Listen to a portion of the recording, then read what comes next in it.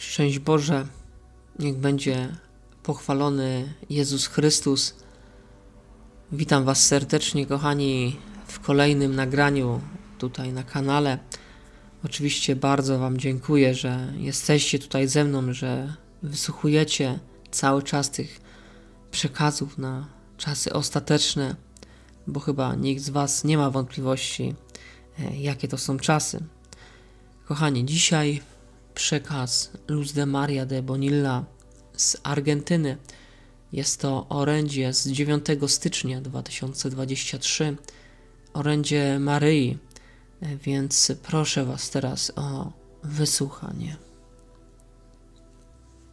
Umiłowane dzieci mego niepokalanego serca, moja miłość zachowuje Was we wnętrzu mego serca jako matka ludzkości, wiodę was drogami pewnymi, ażebyście się nie zagubili. Jako matka ogłaszam wam to, co ma nadejść, po to, abyście temu zapobiegali przez modlitwę i nawrócenie. I ostrzegam was z miłości Zachowujcie jasne rozumienie tego, kto jest prawdziwym chrześcijaninem. To ten, kto utrzymuje swoje życie skoncentrowane na moim boskim synu. Przeżywacie chwilę niepewności.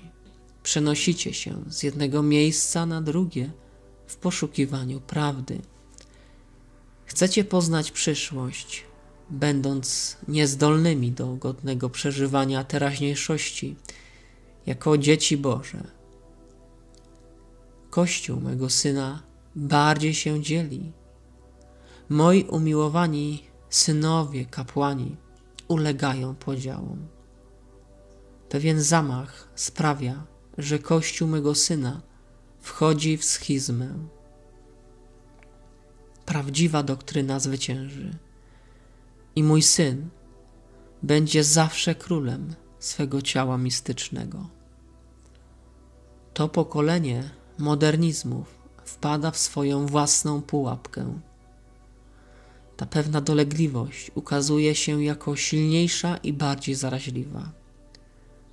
Możni tego świata panują, narzucając swoją wolę ku zdumieniu tych moich dzieci, które nie wierząc w to wcześniej, będą musiały iść na wojnę. Od prowokacji przejdą do horroru użycia energii nuklearnej. Brak żywności daje się odczuć na całym świecie. Różne kraje toczące spory ruszają do walki. Jako matka odczuwam ból z powodu moich dzieci. Człowiek mający wiarę, zachowuje nadzieję i oczekuje.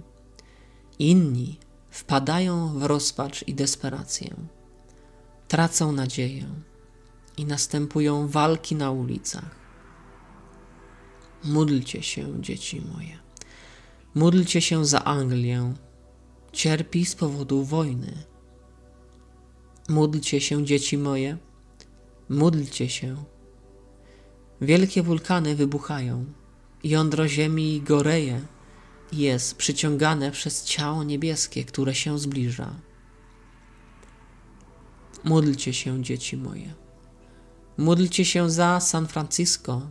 Jego ziemia się trzęsie. Módlcie się, dzieci moje. Módlcie się za Kościół.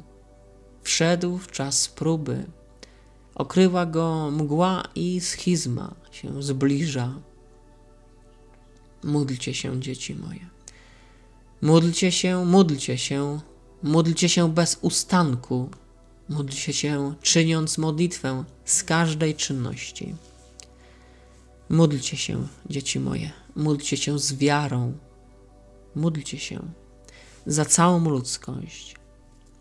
Módlcie się, dzieci moje, Módlcie się. Kościół cierpiał, cierpi i będzie cierpieć z powodu tej złej organizacji. Tu oczywiście tylko przerwę na chwilę.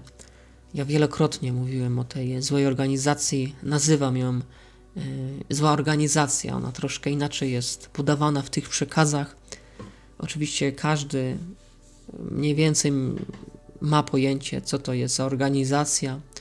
Ona bardzo mocno jest zakorzeniona w kościele, e, powodując pewne różne zmiany niekorzystne oczywiście dla kościoła, dla ludzi, e, ale nie tylko e, w kościele, jak również są to też częściowo różne elity światowe, które mają wpływ na wiele zdarzeń światowych, wiele tych wszystkich konfliktów, które mają miejsce na Ziemi, więc e, ja oczywiście używam tutaj słowa zła organizacja. Więc kontynuując, módlcie się, dzieci moje, módlcie się. Widzę tyle duchowych trupów, nie mających wiary ani miłości do Kościoła mego Syna. Módlcie się, dzieci moje. Nadchodzi ciemność i moje dzieci cierpią. Błogosławię Was moją macierzyńską miłością. Błogosławię Was moim cierpieniem. Błogosławcie się nawzajem. Mój boski syn odczuwa ból z powodu cierpienia swoich dzieci. Nawróćcie się z miłości do mego boskiego syna. Bez lęku idźcie dalej będąc prawdziwymi dziećmi mego boskiego Syna. Nie lękajcie się, nie jesteście sami. Mocna wiara, dzieci, bez chwiania się, idźcie dalej. Błogosławię Was, dzieci mego serca. Amen. Mama Maryja.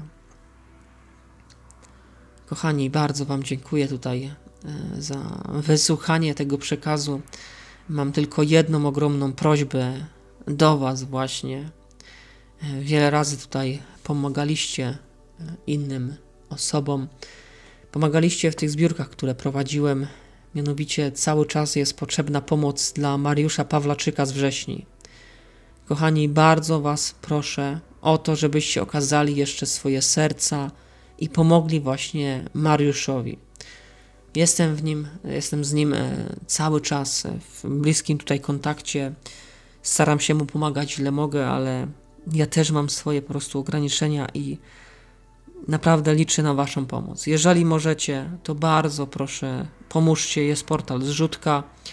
E, można wpłacać tutaj dalej do Mariusza. Naprawdę Mariusz jest po tutaj wypadku, ma na utrzymaniu całą rodzinę i nie daje sobie, kochani, rady. Wiele razy pisze do mnie, prosi mnie, żebym coś zrobił, żebym coś podziałał, żeby mu pomóc, bo po prostu on jest e, zdruzgotany, nie wie co po prostu zrobić, kochani. Zaczyna wyprzedawać swoje rzeczy. E, teraz ostatnio wystawił swój samochód już na sprzedaż, po prostu nie ma środków do życia, a nie może jeszcze pracować e, przez to, że jeszcze nie jest po prostu w pełni sprawny. Więc bardzo, kochani, Was proszę o pomoc dla Mariusza. Ja Wam już, kochani, dziękuję. E, my usłyszymy się już niebawem. Pozdrawiam Was serdecznie. Wszystkiego Bożego dla Was.